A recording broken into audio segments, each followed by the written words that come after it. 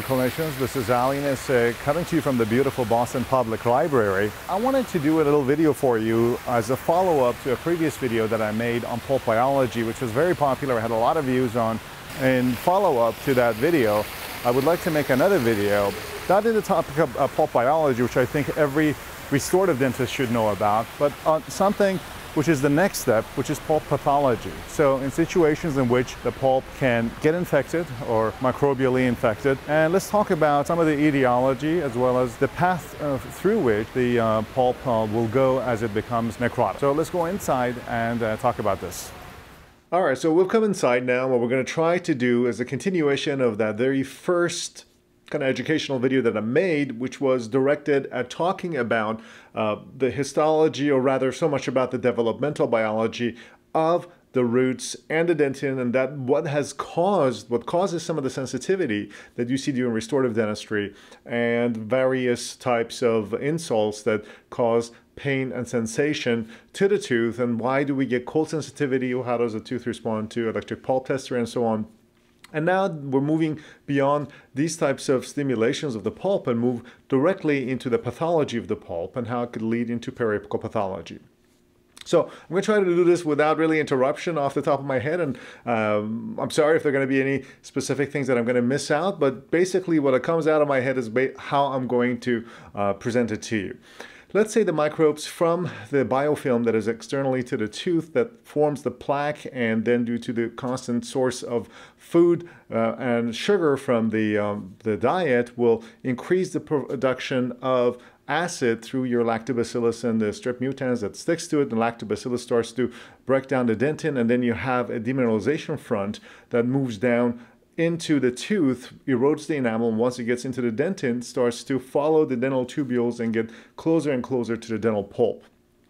As the the, this, the, as the infection starts to get closer to the pulp through the dental tubules, some of the um, byproducts of the microbes start to get ahead of the caries and start to create a stimulation into the dental pulp. Of course, we have the dental odontoblasts uh, processes that are extending directly into the dental tubules that are going to sense these um, stimulation and these uh, products and the odontoblasts are going to start to create reactionary dentin. And as the as the infection front gets closer and closer to the pulp some of the odontoblasts processes and odontoblasts themselves may die and they are going to get replaced through the differentiation of the fibroblast inside the pulp into new odontoblasts that are going to start to form reparative dentin, which is a more amorphous type of a dentin, and its job is to essentially patch the uh, area where this, this type of stimulation is coming from. It's body's own natural defense mechanism against microbes and against the uh, insult that you can see coming in from outside. The dental pulp is a sterile environment for the most part, and any type of an antigen that can create an inflammatory response will stimulate the formation of dentin as a natural, pro uh, natural process by which we try to uh, avoid infection of that space. What ends up happening from a circulatory point of view inside the pulp, what you may not realize about the pulp is that per volume, it is one of the most perfused tissues in your oral cavity. So you have very high density of capillaries that kind of enter through a series of arteries and arterioles and the branch out through uh, capillary plexus that is in the subodontoblastic layer and this, um, um, these are the, the, the, vasodilation of this of these uh, capillaries is uh, directed and is um, um, regulated by the neuropeptides that are present that are released by the uh, C fibers. So, as in the previous video, we said we have the on the periphery of the pulp we have the a delta fibers that are myelinated and are responsible for the fast, sharp shooting pain that patients get in the earlier parts of the inflammation. As the inflammation moves a little bit deeper, it starts to involve the C fibers that are in fact about 90% compared to 10% only uh, A delta fibers in terms of their uh, abundance far more numerous C fibers, and these are involved with the neuroregulation. They release a number of neuropeptides, the CGRP and the substance P, and these types of uh, uh, neuroinflammatory modulators that they release, and then that causes uh, dilation of the capillaries around the pulpal area, which will increase the pulpal blood flow. As the pulpal blood flow increases, they're going to bring some immune components with it. They're going to get a little bit more permeability on the dentin, so you end up releasing some more of these acute kind of inflammatory cells, some neutrophils and so on are going to show up into the area. And by this time, the bacteria has reached and just gotten very close to the pulp and at this point now, you end up having a direct confrontation with the microbes and our immune cells. And these create little micro abscesses in the coronal area of the pulp, which as you know, as, as the infection progresses, will end up coalescing. The microabscesses are going to coalesce and form necrosis. Now, of course, if at some point before this, all of this happens, I mean, you can have some hyperemia, but before you have a frank infection of the dental pulp, through restorative procedures, we are able to remove these microbes, which are the source of the infection. The body can potentially heal itself as long as there's no constant source of bacteria. That essentially is what, from a clinical point of view, uh, will differentiate the state of reversible pulpitis versus irreversible pulpitis. Pulpitis, which is inflammation of the pulp, is essentially a reaction to some kind of a stimulus, which is, if it's temporary due to some injury to the pulp, because of you know chemical mechanical trauma so a lot of that can be reversible. But if the microbes are involved and that trauma is constant and it's not going away then it can progress. And as i mentioned once it crosses this barrier where you end up having microabscesses coalesce you're going to basically end up having necrosis we don't have yet a very clear definition of what, on a clinical uh, diagnostic point of view, we have compared to, to the histological picture of inflammation. But we know that for the most part, some of those telltale signs that indicates that we have moved from reversible to irreversible are two important factors that are found one from a patient history and the other from clinical testing. From a patient history point of view, you find out if you have irreversible pulpitis, if your patient tells you through your questioning and their immediate responses, if they have spontaneous pain or they've had spontaneous pain historically. Patients that are w- woken up from pain, or patients, I usually say, does it ever show up when you're just sitting around watching TV that you have pain or throbbing and you know those kinds of things? And if they say yes, that is one of the important indications. The other one is when you have a response to the cold that is lingering, and that's kind of the cold responses we mentioned in the previous video is triggered by the A delta fibers and they're through the Brännström theory of pain are theorized to be related to the movement of fluids that is caused by cold uh, as the fluid is kind of sucked out through application of the cold into the dental tubules, it'll stimulate the A delta fibers. It will send a sharp uh, signal to the brain, a sharp pain to the brain. And if that sharp response lingers beyond the removal of you know 10 15 seconds beyond the removal of the cold application it means that the damage to the A delta and the inflammation in the pulp is far beyond normal. And combined with the history of spontaneous pain, these two uh, create a picture that is more likely irreversible pulpitis. Again, once again, these two do not necessarily 100% all the time correlate, but these have been shown from the histor- uh, histological picture with the clinical response of most patients to be highly indicative. So let's put it that way. So once you have necrosis up on the top, then the microbes pour into the dental pulp. Now, what's important to understand is that the endodontic infections are not uh, single microbes. They are, for the most part, polymicrobial. You know, we have somewhere in the body a couple thousand, two, three thousand species of microbes have been uh, identified, uh, of which we have found somewhere in the order of, you know, 1,000 to 1,500 microbes have been isolated in the oral cavity. And in the endodontic diseases, uh, we have found somewhere around 100 different types of bugs have been associated with uh, the uh, odontogenic infections related to the dental pulp of course, you have to keep in mind that the biggest challenge in these types of identification processes are the fact that, you know, previously we've been using culturing and different types of techniques to identify the microbes, but this area and this environment inside the dental pulp is a very difficult one to get proper isolation. So the latest molecular techniques are showing us the preponderance of a number of microbes that are present and that it, in fact, in almost um, all endodontic infections, it is a polymicrobial process. So you have somewhere in the order of two to you know 40 different uh, microbes are present at the same time, causing this process of necrosis. And what's interesting is that the fact that you have so many different microbes in a bigger set of uh, the microbiology of pulpal disease kind of can potentially explain the reason why some patients have more pain than others during the process of necrosis. Of course, the patient's own immune system, their own response, their own you know, neural profile in terms of perception of pain and their um, um, the way they process it are all factors. But from a microbiological point of view, there's also a difference in the kind of microbes that are associated with uh, pulpal necrosis. And as I mentioned, these are polymicrobial. And the other key to remember is that primary infections, which are the first time a tooth gets infected, rather than infections that are secondary or rather are following root canal therapy, for example, a root canal that fails, are also different in composition.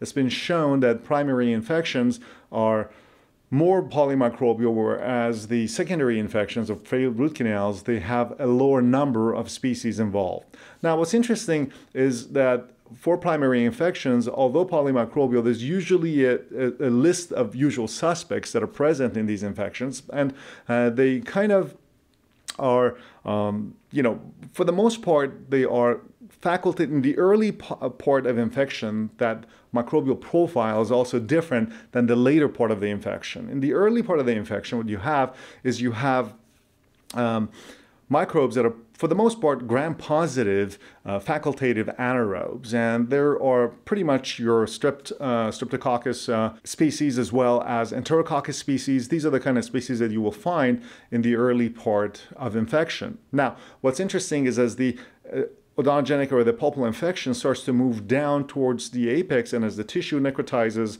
and the microbes move down, what you end up having is you end up having a succession, it's called microbial succession, as the facultative, gram-positive facultative anaerobes start to uh, get superseded by the uh, gram-negative obligate anaerobes, such as the, the saccharolytic and the asaccharolytic um, uh, species of uh, Prevotella and the Porphyromonas. Now, these uh, two uh, these two groups were previously in the back in the 80s. They were uh, identified as the Bacteroides and the pigmented Bacteroides. I remember that we used to call them for some parts early part of my schooling. We used to call them Bacteroides, pigmented Bacteroides. But now those are reclassified and they're called um, Porphyromonas and the Prevotellus uh, species of microbes which are gram-negative anaerobes. And now gram-negative anaerobes, what's interesting to know also is that they have, by the fact of being they're gram-negative, they contain some lipopolysaccharide outer shell that makes them gram-negative so that they cannot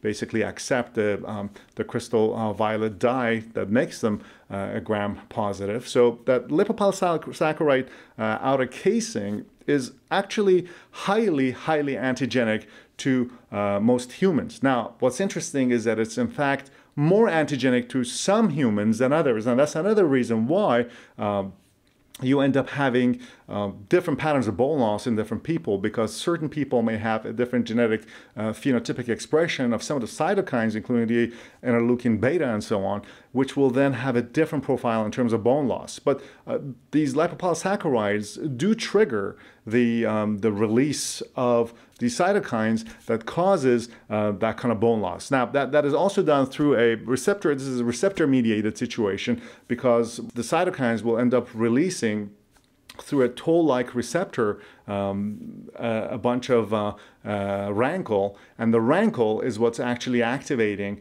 uh, the, the, the osteoclasts that come into the area and start to, to lose the bone. And that bone loss is what you see radiographically and interpret as a radiolucency, and that's only bone loss, obviously, because radiographs don't show us infection. We only see bone loss, but then we infer that there is an infection because we don't expect to have bone loss uh, at that point uh, of the tooth, and that becomes a diagnostic picture that we use. So keep in mind, basically, the way it works is that you end up having the LPS, the lipopolysaccharides, inducing the, uh, um, the release of RANKL through the toll-like receptor and the macrophages.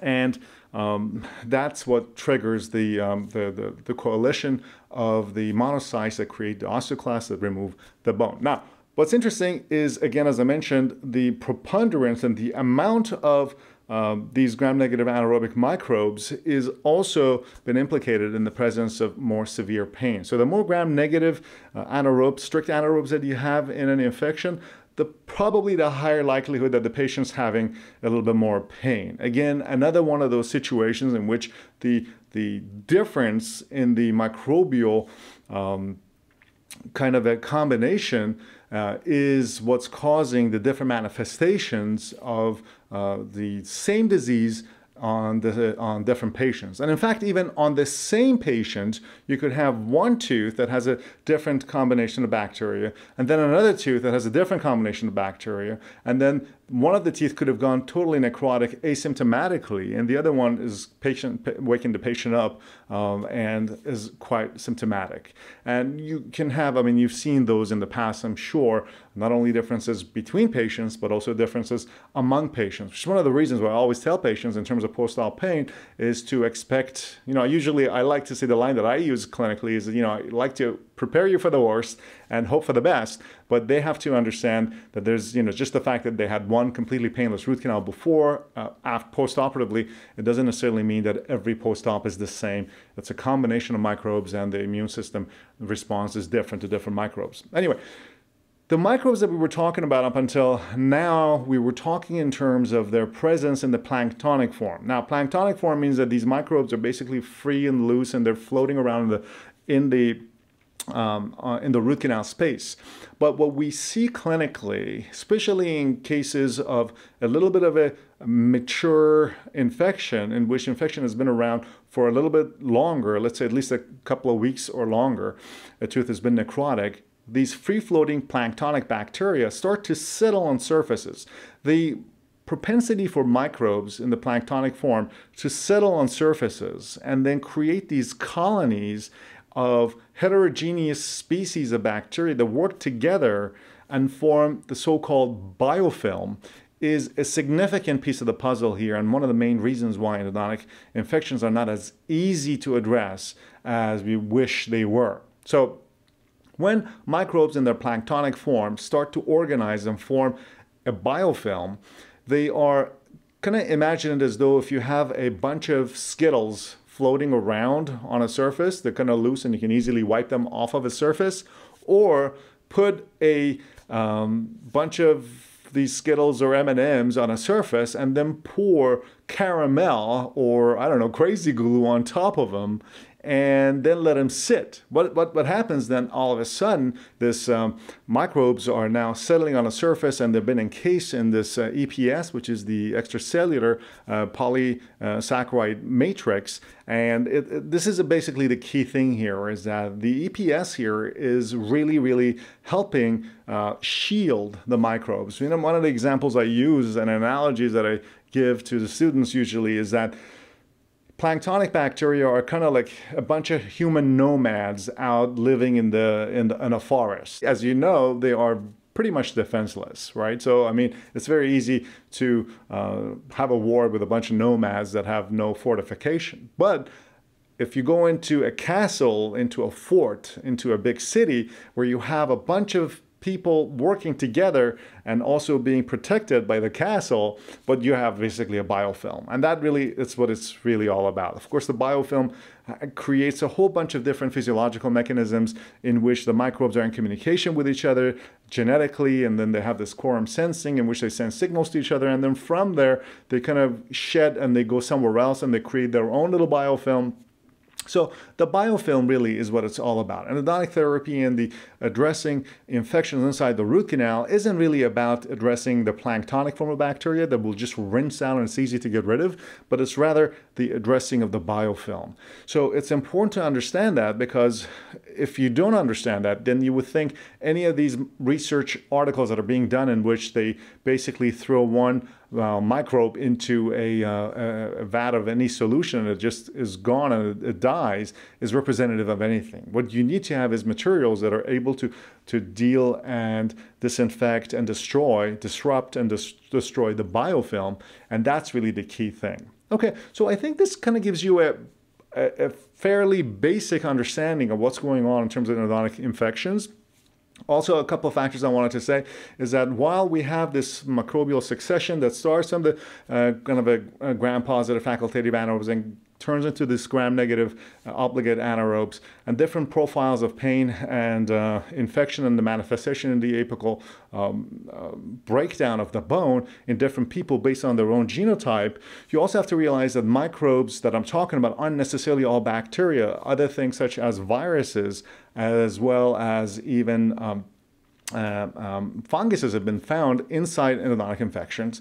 And that's a key thing to keep in mind because we need to have systems of disinfection that are not just merely specific to uh, bacteria, because based on some studies, you know, somewhere to the extent of 8 to 10% of these infections are, contain also Candida albicans and other kinds of um, fungus material. And that's important that we kind of make sure that we uh, address that. So this is the, the, the key here is that you know, not only isolation during the root canal therapy is important so that you don't end up getting any of the loose floating candida in the patient's mouth getting into the tooth right before, before obturation. Uh, but also our gutta percha cones should be disinfected because many of the times gutta percha cones that sit around on the shelf for extended periods of time can develop uh, mold and, and candida can grow on and that's can, it can happen. So it's important that you disinfect your gutta percha right before obturation or before even cone fitting by placing it in sodium hypochlorite for about 30 seconds to a minute. And that helps disinfect the surface. So a key to remember as well. In terms of viruses, all kinds of viruses have been found both inside dental infections as well as in periapical infections. But to that extent, uh, you know, that's not necessarily going to change much about our uh, our protocols. But just know that they are there.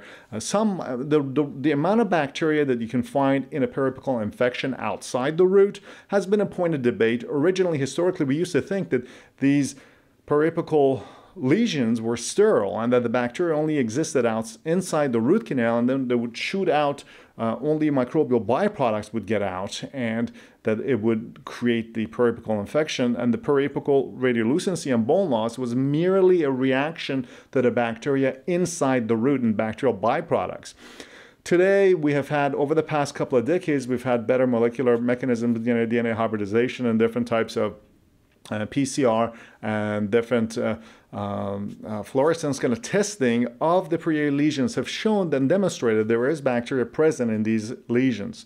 Of course, some people have argued that you know these molecular mechanisms don't tell us if the microbes that are out there are alive or not. But I can tell you easily that there certainly are some species of microbes, such as the Actinomyces, you know, israelii, and as well as the different kind of Actinomyces uh, family of uh, of uh, um, of uh, microbes that can persist on their own outside the tooth in the periapical lesion as we've seen in those sulfur granules that are basically colonies of these actinomyces, and they create a number of sinus tracts and so on. And these, I have had a number of patients myself that I have seen that have been misdiagnosed in the past for different things, and these large um, periapical lesions have been present that hadn't been addressed. Anyway, so uh, this, I'm sorry, I, I, was speaking very fast because I was trying to get a lot of information uh, in together. It was kind of off the top of my head, didn't really have proper organization. Okay, I hope this was helpful to you. Don't forget to comment below if this was good, bad, or any kind of feedback. I'm trying to do, um, you know, more clinical stuff and not as much of these uh, scientific stuff, but I do enjoy doing these too from time to time, and I hope it does help you. All right, folks, so this was a fairly basic review of pulp pathology. Of course, the subject is fairly complicated, has a lot of science behind it, and the field is evolving every day as we learn more about the, uh, you, know, you know, the microbiome and the role of different uh, microbes, not only in the overall body uh, and their role in our basic metabolism, but also in pulpal pathology. So this quick review hopefully was uh, going to give you a little insight about what we're dealing with in terms of primary and secondary endodontic infections. And, uh, you know, if you like the video, make sure you, you share it and uh, don't forget to follow us on social media. And for we will then and let's save some teeth.